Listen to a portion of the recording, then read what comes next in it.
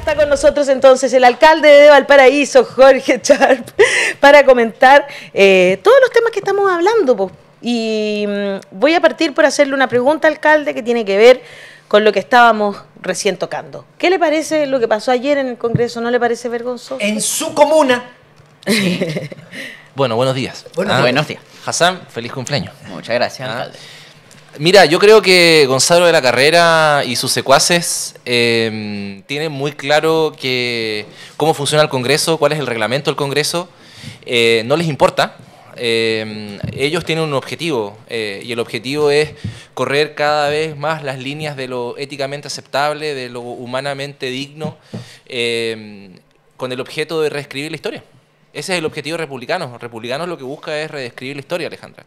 Eh, y eso han estado desde José, desde José Antonio Cas eh, hacia abajo, pasando por los diputados, por las diputadas, por los consejeros constitucionales.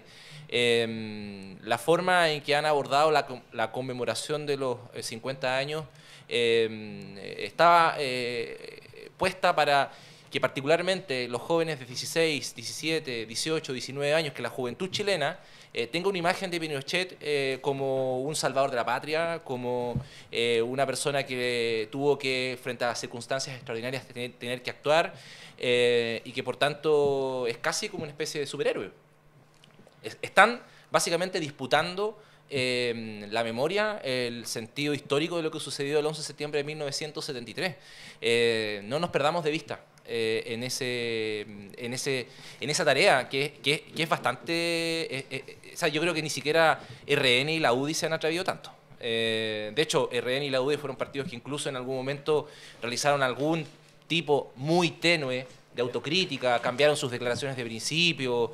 Recuerdo eh, la conmemoración de los 30 años, que hubo varias declaraciones de sectores de la derecha condenando o rechazando lo que fue el golpe, e incluso las violaciones de derechos humanos, pero hoy día estamos frente a un escenario completamente nuevo. Hoy día republicanos está en esa. Sí. Eh, y se quiere llevar a todo encima. O sea, a las instituciones, a, eh, incluso a, a- a- a las mismas Fuerzas Armadas, al Ejecutivo y a la memoria de los desaparecidos, de los torturados, de los mutilados en, en- en- en dictadura. Entonces, eso es lo que está haciendo José Antonio Cas. eh, disputando el eh, sentido histórico de lo que sucedió el 11 de septiembre de 1973. A mí me preocupa Y a través lo que de, piensa de un joven. ¿ah? A mí me preocupa lo que piensa un joven de 17 años, de 18 años, sobre lo que pasó el 11 de septiembre. No me preocupa lo que opina Insulza, Lago, Bachelet, o nosotros mismos que tenemos una, eh, o Longueira, o Chadwick, o Coloma, o in- incluso el mismo Cas, eh, que tenemos una posición eh, clara sobre lo que sucedió. Me interesa lo que sucede con, con la juventud, me interesa Claro. con la- lo que pasa con las nuevas generaciones. Eh, ahí se está incubando, creo yo, la apuesta de republicanos y me parece extremadamente peligroso. Eh, ese es el problema de fondo, a mi juicio, de lo que está pasando. Y ahí, bueno, más encima en un día en que pasaban muchas cosas en el país y que lo- para estar a la altura las autoridades eh, deberían haber estado por lo menos en algo preocupadas de lo que pasaba a su alrededor, ¿o no? ¿Cómo está la región de, o más bien la ciudad, la comuna de Valparaíso? Eh, yo ayer lo vi ahí en Placilla. Sí. Eh, que, pero ¿cómo, ¿cómo ha estado con el sistema frontal? Bueno, eh, un poco mejor de lo que ha sucedido en el sur. Yo, eh, en primer lugar, Ale, si me permite, Hassan, eh, Daniel, enviarle un saludo muy afectuoso a, a todas las ciudades, a las comunidades, a los pueblos del centro sur, Talca, Curicó, Santa Cruz, eh, Constitución, Sí. que lo han pasado pésimo. Eh, un abrazo muy fuerte también a los equipos municipales, a las alcaldesas y los alcaldes que eh, trabajan. Mira, se ha hablado harto del rol de carabineros, de los bomberos, de las Fuerzas Armadas. Sin duda han jugado un rol espectacular. Se ha hablado poco en los medios del rol de los municipios. Eh, creo que los municipios están eh, trabajando antes de que lleguen las cámaras y luego después se quedan trabajando posterior a que se vayan las cámaras Tal eh, cual. de televisión y la noticia.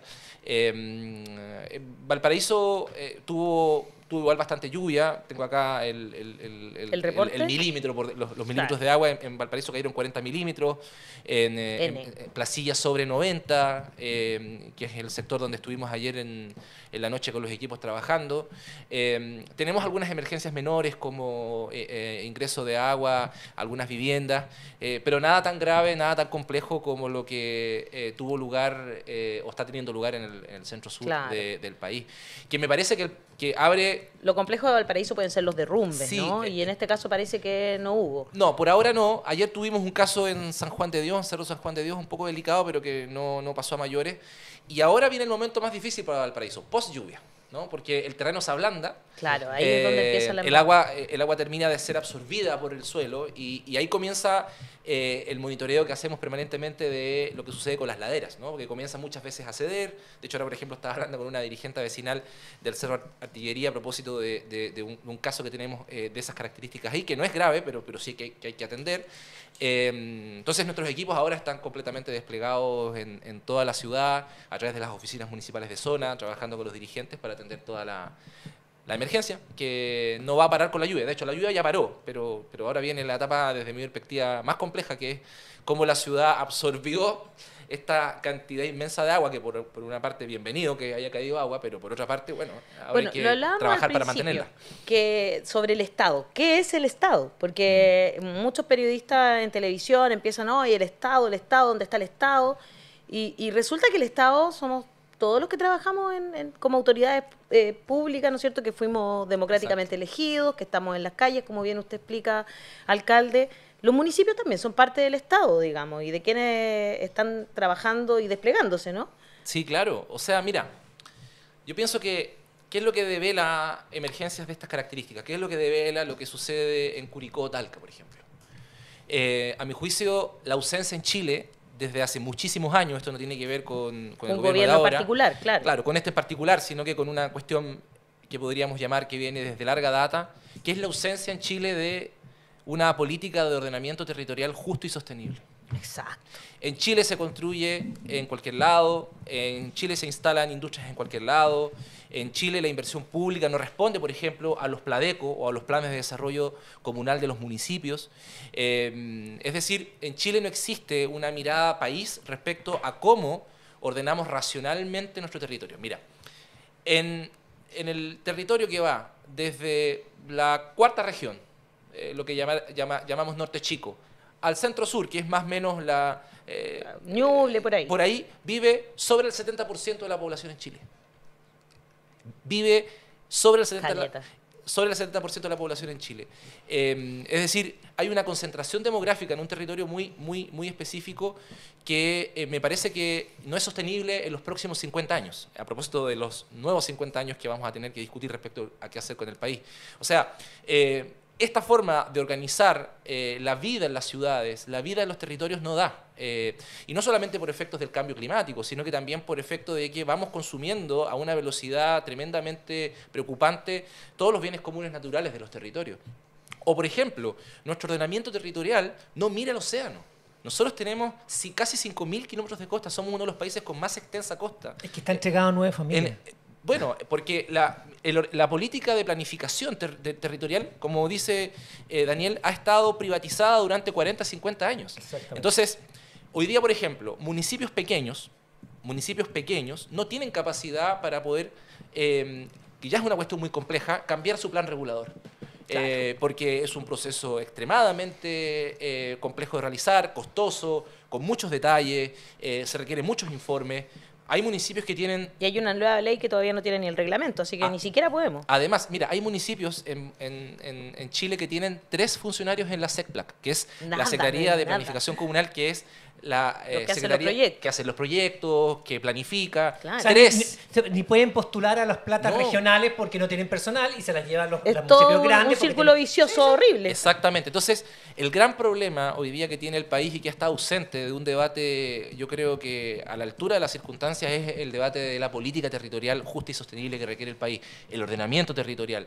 Em, o sea, las ciudades hoy día son la gran, son el gran, la gran frontera de discusión respecto a cómo queremos vivir em, en, ciudades que sean vivibles. O sea, ustedes, por ejemplo, yo no sé cómo lo hacen de verdad, los centeguinos. ¿Cómo viven en una ciudad de casi... O sea, en un par de años más Santiago va a estar cercano al umbral de los 8 millones de habitantes. Sí, po.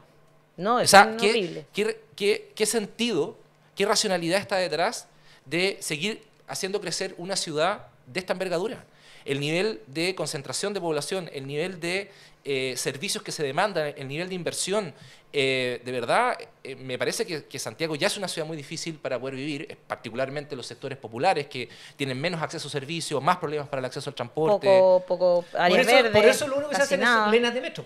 Si aquí hay Bueno. que llegar a todos lados, líneas de metro, líneas de metro. Claro. Estamos planificando hasta la novena ya. Imagínate, y nosotros en, en la región de Valparaíso ni siquiera tenemos en, en la, en la comuna de Valparaíso el, met- el metro soterrado, siendo que, por ejemplo, la comuna vecina y hermana de Viña del Mar sí lo tuvo, gracias a una... Pero se ve el mar, no te quejí. El metro, usted toma el metro en Viña y va viendo el mar. un Es una cosa maravillosa. Eh, no, es, espe- es- es espectacular, Sí. es, es bonito, O pero... sea, desde el metro el mar. Ah, no, una cosa Eh. que yo quiero cada Yo tengo mis pases de, de metro. Valparaíso. Muy sí, bien, tengo. muy bien.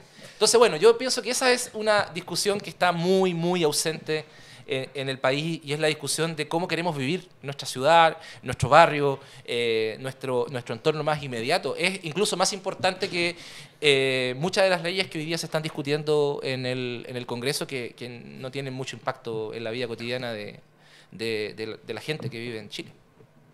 Hassan. Ah, o. Daniel. No, No, sé cuál de los dos va a preguntar Está de cumpleaños, está de cumpleaños. Está de cumpleaños, dejémosle, sí, sí, sí. sí.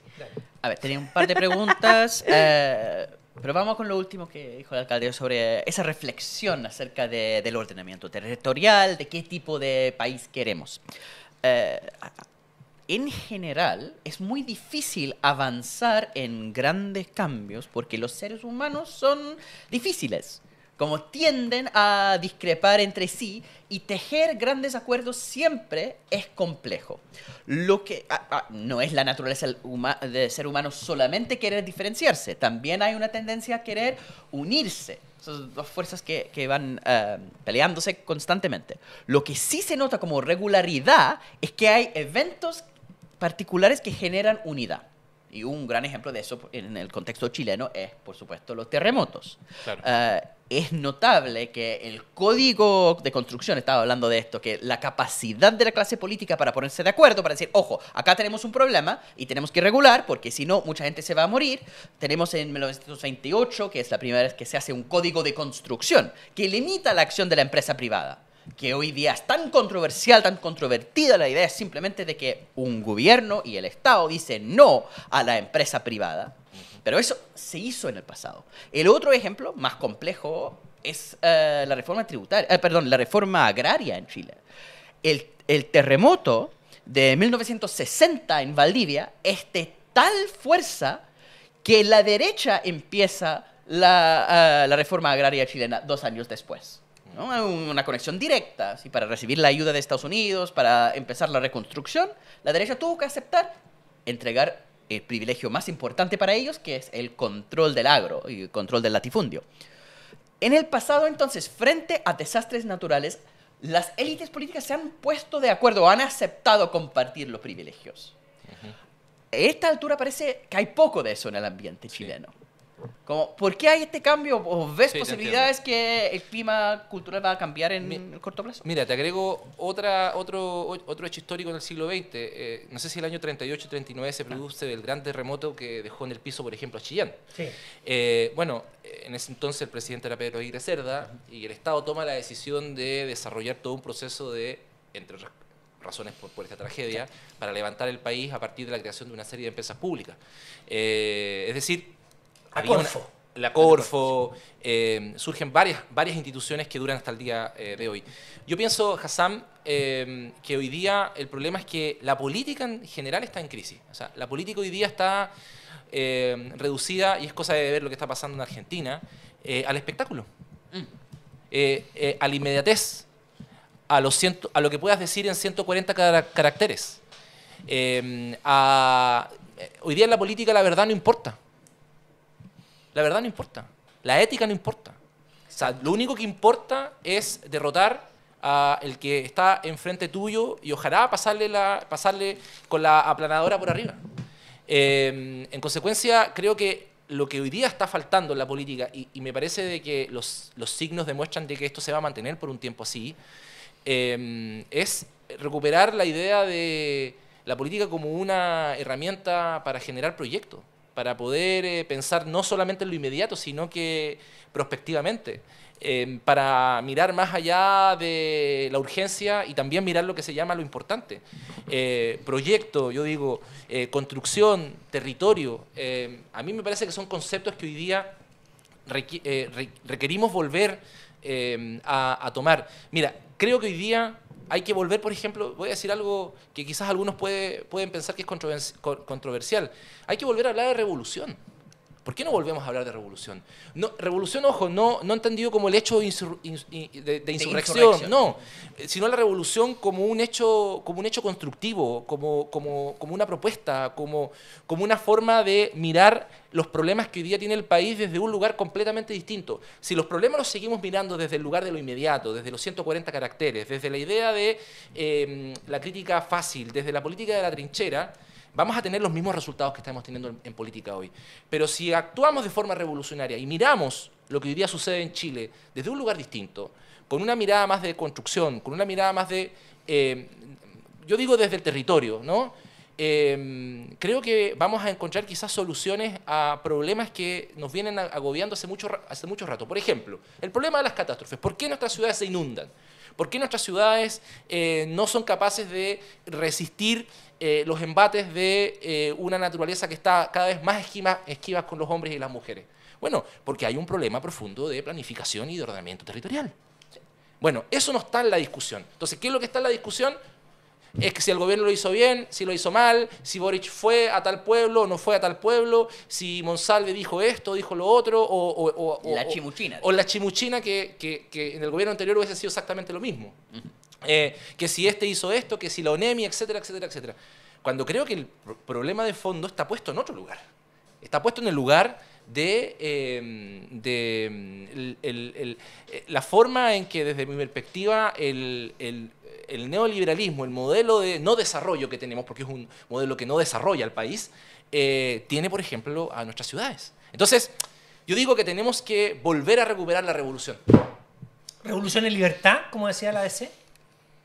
Bueno, esa es una, es una versión de, de, la, de la, eh, de la eh, revolución. Estaba la de Allende, la de la empanada y vino tinto. Yo pienso que, mira, yo pienso que hay que pensar en el siglo XXI. Hay que pensar cómo cómo construyes una propuesta que sea revolucionaria pensando que hoy día los jóvenes van al McDonald's nosotros mismos también vamos al McDonald's a comer, eh, con TikTok, con Instagram, eh, con, eh, con, nuevos fenómenos y nuevas formas de organización cultural, social, urbana que tienen los jóvenes, con fenómenos que no estaban hace 50 años atrás como el cambio climático. la revolución tiene que suponer en el centro la lucha del feminismo, en fin. Creo que hay muchas cosas, a mi juicio, que se pueden, se pueden repensar para poder enfrentar los problemas, porque estamos como una especie de zapato chino. Ya salimos. Para tener la segunda pregunta. Que, Estás de cumpleaños, puede hacer lo que quiera. Sí, justamente lo que dice es bien interesante, ¿no? Que tenemos en la historia una capacidad de ponerse de acuerdo, incluso de la parte de la clase política, en estos proyectos. Precisamente proyectos que pueden ser revolucionarios.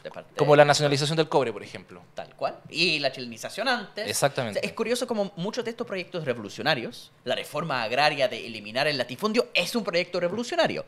Y empieza con la derecha chilena la nacionalización. Por presión de Estados Unidos, pero dijémoslo. Bueno, Estados Unidos tampoco eh, por la presión de la Unión Soviética. O sea, si la derecha hace algo por la presión de Estados Unidos, eso habla de la transversalidad de sus revoluciones. De la misma forma, la nacionalización de cobre se hace con votos de la derecha. Estamos hablando de revoluciones que no son de un sector político, sino transversales en la sociedad. Así es. Si frente a las crisis del momento, del cambio climático, las inundaciones, vemos tanta polarización y tanta incapacidad precisamente de generar revoluciones transversales, de un acuerdo para avanzar, entonces hay un problema en liderazgo en esto. Entonces yo pregunto por el Ejecutivo.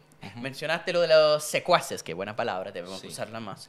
Los secuaces tanto de Gonzalo de la Carrera como los secuaces varios de, de, la extrema derecha en Chile, de José Antonio Cast, etc., lo que están buscando es relitigar el pasado, ¿no? volver a hacer las peleas de antes. Sí. Y lo, lo que realmente preocupante es esto, cuando dicen, se pregunta a la juventud chilena, ¿estás a favor o en contra de Pinochet? La respuesta más preocupante no es estoy a favor, la respuesta más preocupante es ¿quién es Pinochet?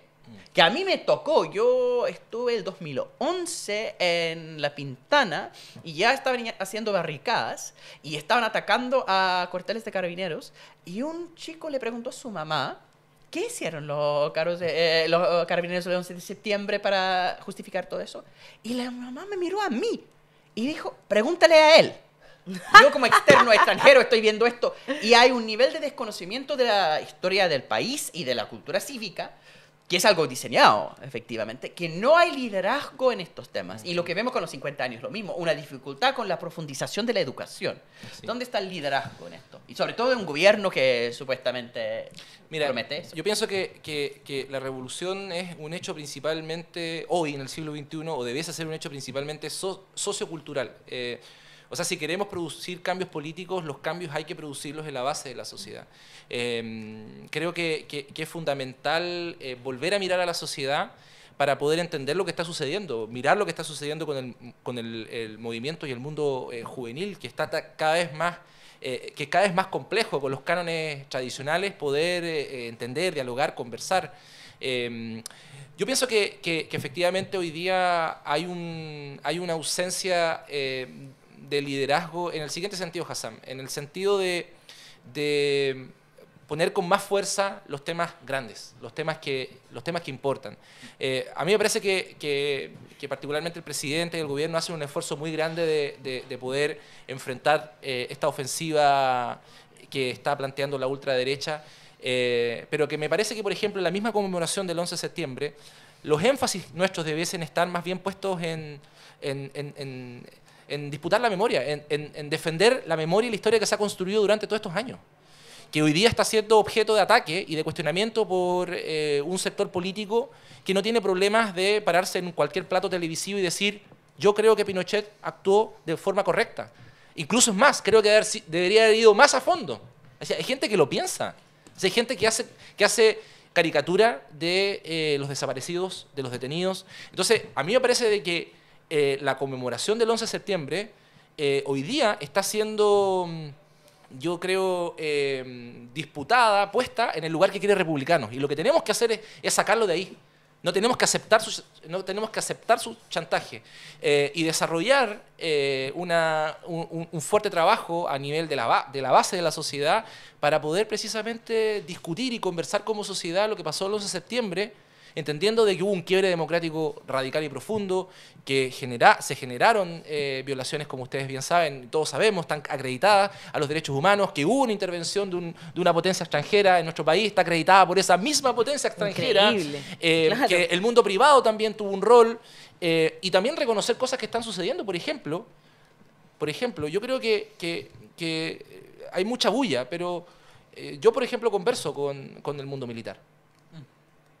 Eh, y, el mundo militar está en una reflexión que me parece bien interesante respecto a lo que está sucediendo. O sea, me, eh, parece que, el mundo militar, eh, el, mundo militar está en una reflexión que me, parece interesante escuchar. Y mira, mira lo que te estoy diciendo. Nosotros tenemos fuerte presencia de, la Armada, de los militares en la ciudad, por, distintas razones. a mí creo que, que me parece que hay que escuchar más allá de la bulla hay que, hay que escuchar más allá de, la bulla. Eso es lo que pienso. Hay distintas posturas, es verdad. Tampoco podemos meterlo a todo en el mismo saco. Por ejemplo, eh, el general que fue comandante en jefe del ejército, Ricardo Martínez. Eh, no, Martínez fue de la Armada. No, Ricardo Martínez fue comandante jefe del ejército. Del ejército, ah, ya, sí, sí, fue del ejército. ¿Cómo dice que fue la Armada? Escribió un libro eh, que, pretende revalorizar la imagen del ejército ante la ciudadanía, pero en el que habla de sombras cuando se refiere a lo que pasó el 11 de septiembre en adelante, ¿no? Eh, tomando un poco la reflexión de los que son los 50 años, me parece interesante, como bien tú dices, y hay que, hay que dar el crédito también de lo que está pasando ahí, ¿no? o sea, yo, eh, mira, mira, yo miro, mira, yo miro a los oficiales y suboficiales jóvenes de la Armada y del Ejército, a los eh, suboficiales y oficiales jóvenes de carabineros. A gente joven, gente que tiene 22, 23, 24 años. Que tienen que aprender de esos errores del pasado. eso es muy interesante, y digo yo. pasado por una formación poco Bueno, exactamente. Entonces, bueno, yo veo, veo que, que, parte de la juventud chilena no solamente está en los clubes deportivos, está en, en- en- luchando en las calles, también hay un sector de la juventud chilena que está en estas instituciones. Por supuesto. Entonces, me parece de que tampoco podemos dejarlos a ellos, tampoco podemos olvidarlos. Ahora, poco, poco y nada ayuda esta carta que mandaron también al presidente, ¿no es cierto? Bueno, claro, Donde ellos son parte, la carta está de los... De, de de, los- de los ex, pero estos los son retirados, los los, antiguos. militares en Claro. retiro están hablando desde la parada de haber enfrentado em, el gobierno de la Unidad Popular, haber participado en el golpe y en los 17 años de dictadura están haciendo una reivindicación de su propio actuar. Entonces, O no es una sorpresa que dicen eso. no. Pero la institución es algo superior, distinto que las personas que lo componen en un momento dado. Exacto. Pero uno pregunta entonces, ¿cuál es la capacidad de reflexión institucional tomando distancia de las personas que participaron directamente? El problema ahí es que se, se hizo a 40 años del golpe y distinto que a 50 años del golpe. Había más Mira, reflexión de parte para de mí es mira incluso, ¿no? para mí es más significativo lo que hoy día pienses sobre lo que pasó el 11 de septiembre un oficial o un suboficial joven del ejército o la armada que lo que pensaron estos caballeros que no hay vuelta con ellos Claro, O sea, eso, con a ellos no hay es- vuelta. o sea a Exacto. eso me No refiero tiene sentido mira, seguir a eso me refiero con, con mirar desde un lugar distinto las Pero polémicas ellos- los temas que hoy día están en- ¿Hay distancia entre ellos? ¿Hay en el- más apertura de los jóvenes? no sé habría que verlo no lo Habría que- sabemos habría que- ni siquiera lo o sea, ni siquiera está, Hassan, ni siquiera está problematizado eso sobre la mesa. O sea, el mundo de la izquierda eh, ni siquiera pone sobre la mesa esa conversación, esa discusión. Estamos más preocupados de responder las bobadas de este grupo de secuaces que tiene CAS en el Congreso y en el, en el Consejo Constitucional, que nos tienen casi como dando explicaciones de lo que pasó el 11 de septiembre de 1973. ¿Qué se creen? Eh, creo que, que tenemos que salir del debate que nos, eh, nos ponen y mirar desde una perspectiva, por eso digo, revolucionaria. Cuando vuelvo a señalar, reivindiquemos a la revolución hoy día no como el hecho de insurrección, eh, eh, de insurrección, sino que más bien como una forma distinta de mirar hoy día el debate político en Chile y los temas que le importan a la gente. Y ese hecho, el hecho revolucionario, tiene que ver con lo que pasa hoy día en la sociedad chilena. Y la sociedad chilena, a 50 años de- de- del golpe, eh, lo está pasando mal en Chile. Porque las cosas no están, eh, no, están pasando, eh, no están pasando por un buen momento en el país. En términos económicos, en términos sociales, en términos culturales. Los jóvenes no, no lo están pasando bien. O sea, mira, voy a conectar con algo que está pasando en Valparaíso. Hoy día las escuelas públicas en Valparaíso se están lloviendo. Claro. Pero eso es responsabilidad del alcalde. Están lloviendo. se están lloviendo.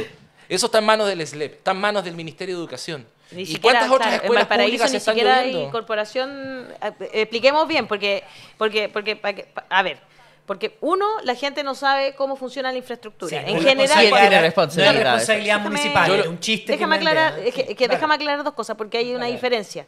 Cuando la, cuando la corporación municipal, eh, o sea, cuando está en manos de una corporación municipal o del municipio, Es responsabilidad sí es responsabilidad de los municipios. Claro. Pero en el caso de Valparaíso ya está en manos Hace del Ministerio de Educación. están- hace Desde tres años en manos de La desmunicipalización en Valparaíso Exacto. ya está y en otras eh, municipalidades no. Viene en camino. Es importante Sí. aclarar. Entonces, bueno, escuelas que se llueven, eh, CEFAM que se demoran años en poder eh, eh, reponerse, eh, plazas que están a medio terminar porque todas las empresas se declaran a quiebra y- no se interesan en construir pequeñas obras, calles que se anegan por falta de ordenamiento territorial, canchas de fútbol que no se construyen porque en Chile no se invierte en deporte. En Chile no se invierte en deporte.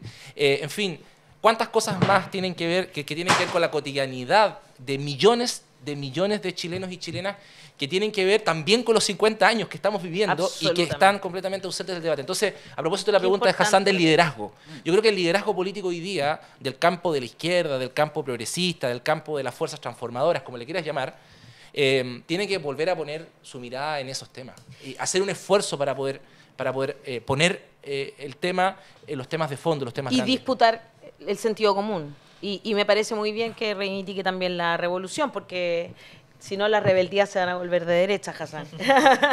Oye, que es un libro, O sea, de que- hecho, que es un libro que estamos leyendo con Es Hassan. muy buen libro de un argentino, Sí, ¿no? sí, sí, sí. Eh, Ay, Pablo- los tres están leyendo el mismo libro. no, muy bueno. Pa- no, le voy a leer comentarios. este- este- el apellido no me acuerdo de Pablo. eh, Estefoni, algo así. es un muy buen sí. libro que la, la- la rebeldía se convirtió de derecha. Los progresistas leen ese Excelente libro. Los progresistas deben leer ese libro. Sí, sí, sí, sí, Oye, Catherine Orellana dice, incluso alcalde de la derecha nunca ha dejado de opinar en el relato que se ha hecho en estos 30 años de democracia, ya que, por ejemplo, recién hoy se habla de la intervención de Estados Unidos. Antes era impensado. Eh, Patti Araos dice que grande alcalde. Sandra Bustos dice, gracias a Sharp a seguir en ese camino. Eh, Gloria Galvez dice, yo también tengo ese presentimiento, Sharp, por su silencio, y no lo siento como un silencio peligroso, lo siento como un silencio de reflexión y de, re- de querer recuperar dignidad de esas instituciones.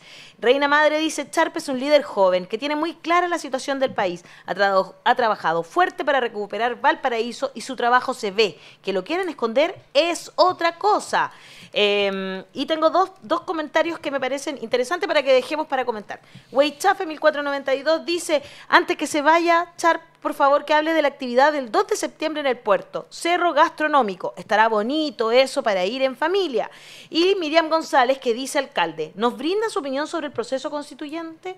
Ouch. Ahí hay dos eh, De la cosas bien antitución. claritas. Estamos hasta las 2 O, de- o destituyente, como usted quiera llamarlo. A mí me gusta hablar de antitución, porque es la es una constitución Antes de la an- constitución. Antitución, no constitución, antitución, porque Contra Constitución. porque ¿sabes por qué? Porque pareciera ser que el texto va derechamente a ser un texto contra Chile. Mira, es un texto anti mujeres y disidencias, Es que todavía no se aprueba. sí, Esas son las propuestas de los republicanos y sus secuaces. anti trabajadores, Sí, porque La huelga, sí. niega el derecho a huelga. sí, Anti regiones porque va a, ser- va a profundizar el Estado centralista. sí. Anti personas mayores porque va a, consa- con el sistema de va a pensiones consagrar actual. el mismo sistema de pensiones que tenemos hoy día. Entonces, por eso digo que es una antitución. Anti-institución. Eh, o sea, tengo pocas expectativas de lo que, de lo que el texto, de- a- y en- y respondiendo a esa pregunta, eh, poco- pocas expectativas de lo que el texto pueda, pueda brindarles a Chile para poder resolver los problemas de fondo.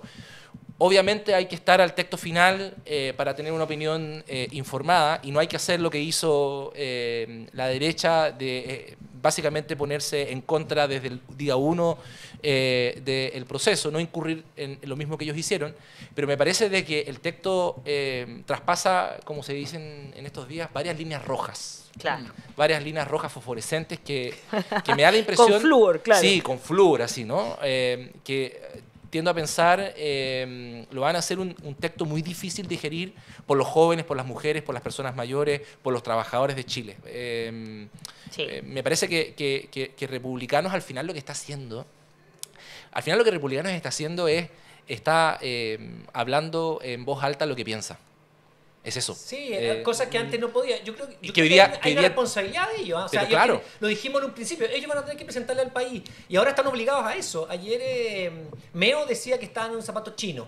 Eh, porque en el fondo estaban con esto de o presentamos algo que sea aprobado o nos pega en contra. Yo creo que algo de eso hay, pero también hay una cuestión como de, que no pueden salir de este, de este, de este embrollo en que se metieron. Nunca pensaron que iban a ser mayoría además. Entonces, ahora, yo también concuerdo que hay que esperar el texto, pero hasta ahora las luces que ellos mismos han mostrado con más de, más de mil enmiendas, la mayoría y las más fuertes que son re- eh, retroceden ¿no? Eh, Sí, claro. respecto a los derechos de las personas, nos muestran una mala, ya ten- algo huele mal, digamos ahí, ¿no? En Valparaíso, no me refiero, sino que, el eh, ah, no, ni siquiera en Valparaíso, No, es acá en el aquí, centro, aquí, acá en el en el centro. Sí, nada que ver Valparaíso. Es que también ayer olió mal en Valparaíso, pero ahora huele mal acá cerca de...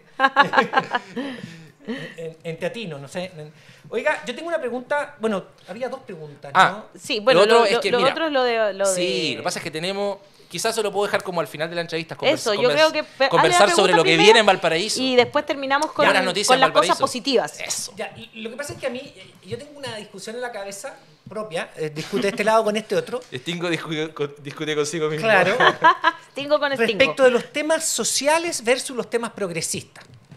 Sí. Los temas sociales son educación, salud, pensiones, podríamos enumerar agua ahí.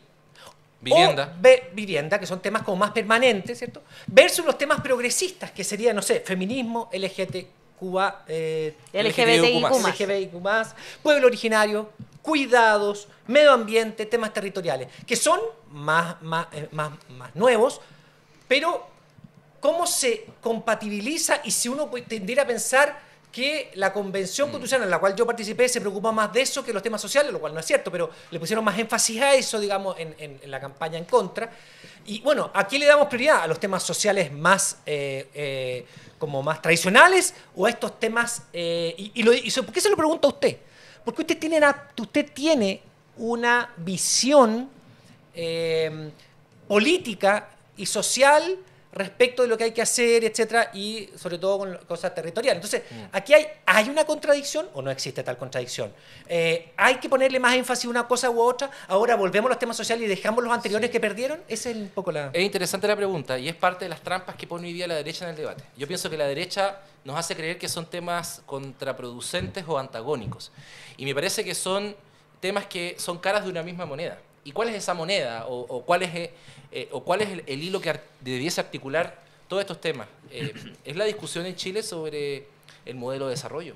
El modelo de desarrollo político, económico, cultural y social, que fue en parte la discusión que ustedes en la convención intentaron producir, eh, con mucha dificultad también, una discusión que, no, había estado completamente habilitada en el espacio público, discutir sobre, eh, en términos concretos y reales, a partir de la redacción de artículos, el Chile que queríamos a futuro, para superar el, el- Chile que hoy día tenemos, que es un Chile segrega- segregador, es un Chile eh, desigual, es un Chile con profundas injusticias, es un Chile que discrimina a los jóvenes de sectores populares, a las mujeres de sectores populares, es un Chile que no, que no le garantiza a los adultos mayores o personas mayores eh, eh, pensiones decentes, donde cuando hay lluvia las ciudades se inundan, cuando en las escuelas reciben lluvia se inundan también. O sea, parte de lo que intentaron hacer ustedes en la convención tenía que ver con discutir sobre el modelo de desarrollo, pero esa discusión está, eh, está eh, pendiente.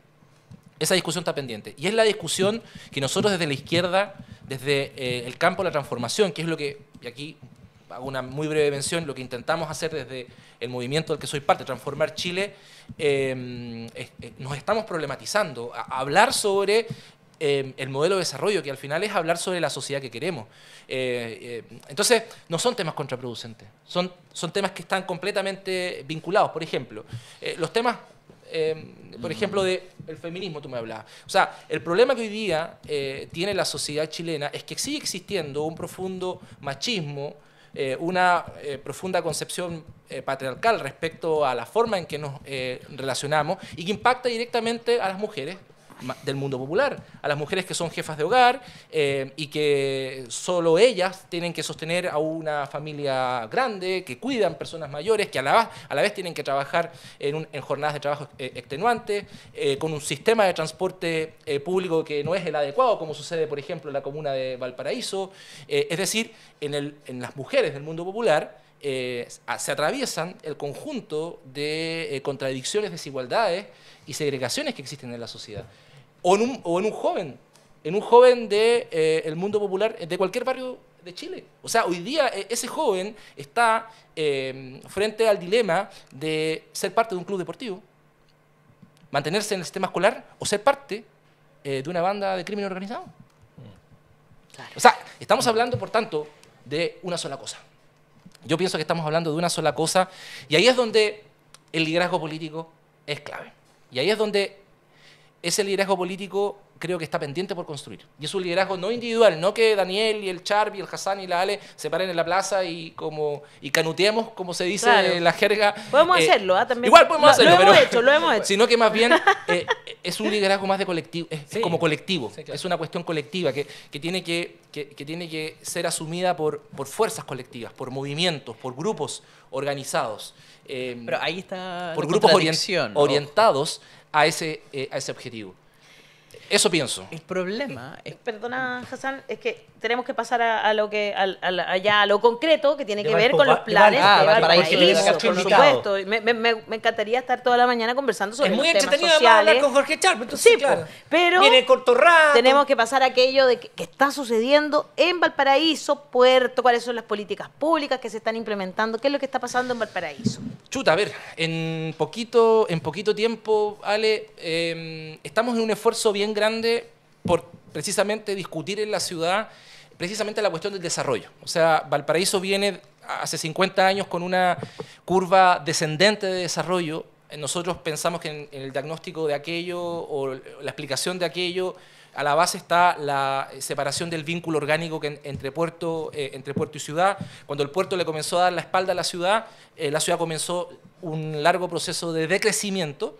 Eh, y lo que estamos buscando hacer precisamente es volver a conectar el desarrollo de la ciudad con el desarrollo portuario. Eh, estamos trabajando en, un, acuerdo muy importante con el puerto de Valparaíso, con el mismo gobernador regional, para precisamente eh, mirar el desarrollo de la ciudad en los próximos, eh, en los próximos 20, 30 años a partir eh, de una propuesta de expansión portuaria que tiene la empresa portuaria, pero que para nosotros no, no, no tiene que significar apilar uno o más contenedores, sino que más bien tiene que suponer una oportunidad, por ejemplo, para poder construir nuestro muelle de cruceros en la Bahía de Valparaíso para potenciar la economía del turismo y producir mucho empleo.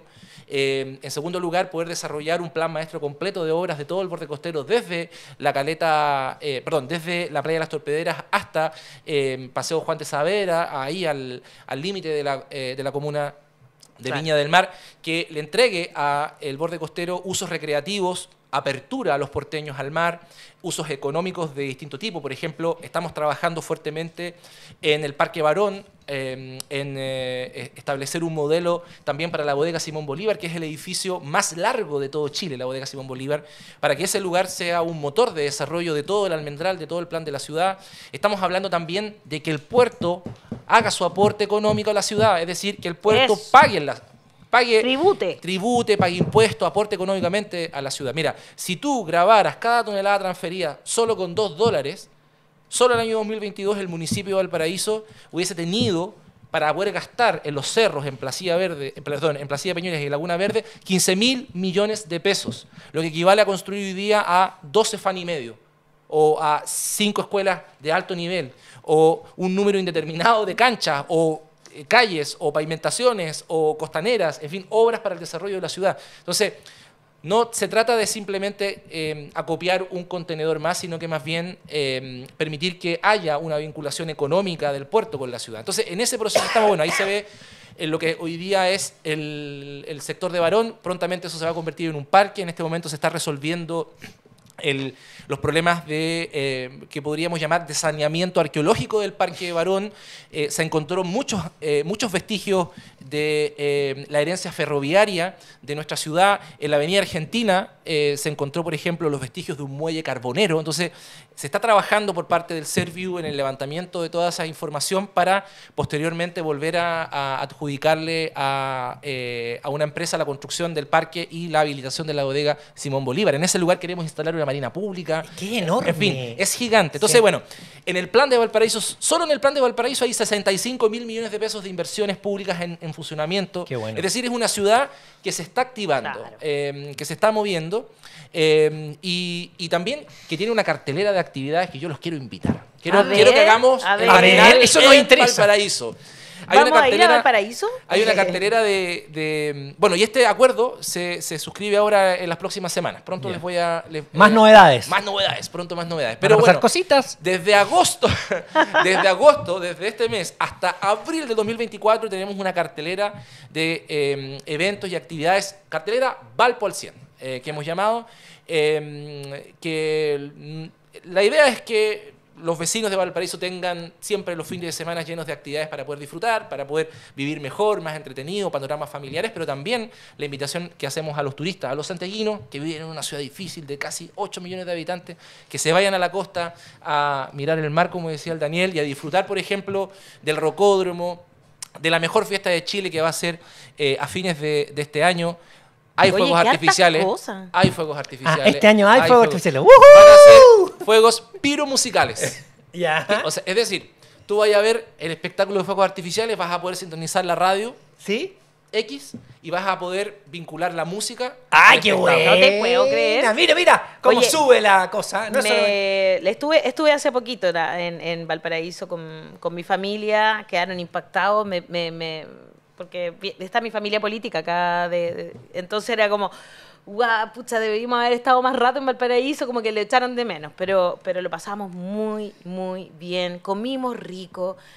Voy a- no quiero hablar mal de las otras ciudades de la región porque yo soy Sí. eh, viví en muchas, pero llegamos a otra ciudad donde no pudimos comer, todo colapsado, todo carísimo además. Oh, de- llegamos a Valpo, rico, caminamos, anduvimos en ascensores.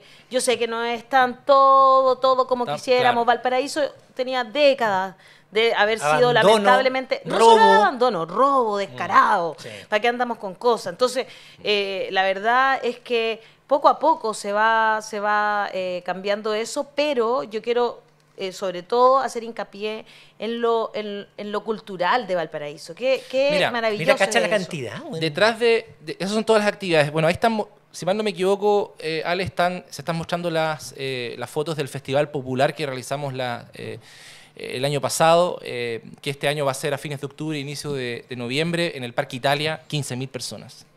Mira, es- hace dos fines de semana hicimos la calle del 15.000 niño. perso- 15.000 ¿De- ¿Volvió perso- la calle del niño? Ay, que lo pasaba bien yo en la calle del niño. Básicamente la Yo calle del niño, para que la gente que no conoce, eh, es cerrar Pedro Montt desde la Plaza de la Victoria hasta el Parque Italia. La Oye, la- contabilizamos que por lo menos 30.000 personas circularon por todo el plan de Valparaíso ese- domingo, que fue un domingo con mucho sol. O sea, tenemos un montón de actividades que demuestran que la ciudad está viva, está activa. Con el Daniel Muñoz hemos estado en los cerros de. Cueca. Oye, nos ha ido súper bien. Hemos, estuvimos en Placilla Peñuela hace poco, con más de 1.500 personas en una plaza que recuperamos, eh, en el sector de la Plaza Peñuela. Con Daniel hemos estado en, en nueve lugares ya en, en- en Cerros de Cueca, en, en Valparaíso. Hasta la nueva ola tenemos para las personas mayores. Lo vi, lo vi. Está como mucho de la nueva ola eh, prontito. Pronto. Sí. Vienen un par de semanas más Sí. la nueva Primero ola. de septiembre lo vi. Primero de septiembre viene la nueva ola. Ay, que- ay, Déjale. Así Muy que bueno, bien. es una cartelera muy completa. Ahí está, para, para Daniel. Valpo al 100.cl, además. No, hasta mí, para mí son más viejos. ¿no? Entonces ahí búsquenlo, valpo al 100.cl. Ahí está, es mira, por ejemplo, eso es el consistorial Kids. Abrimos el Ah, edificio consistorial y lo convertimos en una plaza de juego para los niños. Ah, qué. Mil, mil niños y niñas estuvieron en eh, ese día. Ahí estamos en, el, en lo que les decía la calle de los niños, el video lo muestra. O sea, nos hemos también enfocado en estos meses en, en- en- en trabajar fuertemente en materia de, de niñez, eh, de poder convertir a Valparaíso en una ciudad amigable para los niños y niñas. Bueno, ahí Y la limpieza. Estamos con pintura de fachadas también en el sector Oh. de la calle Independencia. Se ha mantenido bastante, más que, la, que, que el otro proceso. En el, caso de la calle Condel, eh, vamos ahora a trabajar en básicamente una galería de arte urbano. Vamos a pintar todas las persianas de los locales comerciales con la proyección del mural que hay en la Plaza Aníbal Pinto para que no vuelvan a rayar. Eh, es decir, recuperar Valparaíso sigue siendo mi Invitemos a objetivo que y mi rayan- tarea número uno. Claro, invitemos a los que rayan a, a- a otros lados. No lo hagan. No lo hagan ahí. No Que lo se hagan. rayen. Yo entiendo lo de los tags. Es un- eh, mira. es una cultura, pero bueno, Sí. ya vamos a entrar en. Eh, de- podemos hacerlo en otras partes, ¿no? Eh, bueno, lo que sí, aquí hay muchos comentarios para, para el alcalde para que después los vaya revisando. Eh, Dice, las caminatas por la laguna en Placilla es maravilloso, es un bacán panorama, nos manda Tranquila luz. nuestra Javiera Mora que vive allá Muy bonito. en la quinta región, en Valparaíso específicamente. Oye, y a esta hora, cuando son las 12.02, antes de cerrar eh, eh, el espacio con el alcalde Jorge Char, porque lo queremos invitar a, a- a cantar cumpleaños feliz para nuestro amigo Hassan Akram. De Sousa. Exactamente. Hassan reza. Hassan, de, sí, Hassan Hassan Reza, Reza, Jaja- Akram de Akram de Sousa. Sousa. Y aquí entrando entonces. Mira. Ay, muy bien. Tiene su, Mira la cara de, de, de, de felicidad. No, de- sorpresa. de Felicidad. sorpresa y felicidad. de felicidad de Hassan Akram. Un, dos, Dos, tres. Cumpleaños feliz. Te deseamos a ti. A ti, a ti. Cumpleaños, Hassan Reza Akram de Sousa. Que los cumpla feliz. ¡Feliz, feliz! ¡Eso! ¡Bravo! Mi contribución a evitar problemas de incendios. Muy bien. Felicidades, don Hassan. Muchas gracias. Como los que dicen que los incendios son producto de la acción humana, ya vemos evidencia de eso. Claro, es que cumpliste 39, ya no es poco. Muy bien. Ay, qué pesado. Mira, le dice la edad. Y hace hincapié en que tiene 39, su último año de los 30. Precipicio. Oye, bueno, alcalde, muchas gracias por estar acá. Sí, como contarnos siempre, todo lo que un se placer, viene. un placer. Y por, y por supuesto, además, siempre conversar sobre nuestro, las temáticas que le ponemos encima. Siempre, sí, nunca evita un tema y le agradecemos también a Nostrano lo que está pasando en Valparaíso, que me encanta. Un placer, de verdad. Y felicitaciones nuevamente por, el, por lo que hacen. Mira, hay una discusión instalada respecto a una última cosa, quiero decir, Da. sobre el tema de las fake news, las comisiones Sí, de pues. desinformación. Sí. Sí, lo, lo teníamos en pauta y justo no A mí me parece que sería más interesante que los gobiernos de turno de cualquier color político apoyen más a los medios independientes. Eh, ¡Sí, bravo! Que lo escuchan aquí cerquita, O sea, al ladito. es mucho más es mucho más productivo y creo que eh, Ah, sí. Potenciar a medios de comunicación independiente, al periodismo independiente, al periodismo que no está eh, concesionado por empresas privadas, eh, que quizás meterse en un debate que puede ser muy, eh, muy fácil de desvirtuar por parte de la derecha respecto a que está ahí tratando de generar bozales o atentados contra la libertad de prensa. La mejor forma de apoyar eh, a eh, la libertad de prensa, al derecho que tenemos a acceder a la información de forma eh, desprejuiciada, es precisamente potenciando en una sociedad democrática los medios de comunicación y en particular a los medios independientes que como La Voz y otros más eh, se rajan con sus propias uñas. Gracias. Así es. Y en eso ¡Grande, estamos, Sharp! Y creo que eh, en eso tiene mucha razón el alcalde. ¿Por qué? Porque los medios hegemónicos tienen el apoyo de la empresa privada. Y del Estado. de- del, del Estado, gobierno de turno. El Sí, avisaje. señor. el avisaje estatal, todo eso que estamos, que sabemos que es tan opaco, pero ah, y los medios, en cambio, eh, independientes, estamos, la verdad, bastante solos y solas en esto. Y entonces eso hace que solo se escuche una voz con una línea editorial. Es muy importante la pluralidad para eh, que la gente se informe de buena manera, no solo opinión, combatir las pues, fake Su news. propia opinión. Ay, ay, ay. Ya pues. Muchas gracias, alcalde.